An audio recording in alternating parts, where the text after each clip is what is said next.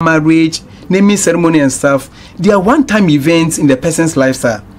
So it needs to be properly planned, managed, and I mean executed. Uh, executed. Mm. Take it for instance, if on your wedding day, and I, I once witnessed one, the time the bride's uh, the bride's team and then the, the groom's team were coming to a reception, that was when the the music, the catering, those bringing the chairs were coming to yeah, set up. I've seen some before. Yeah, so yeah. just just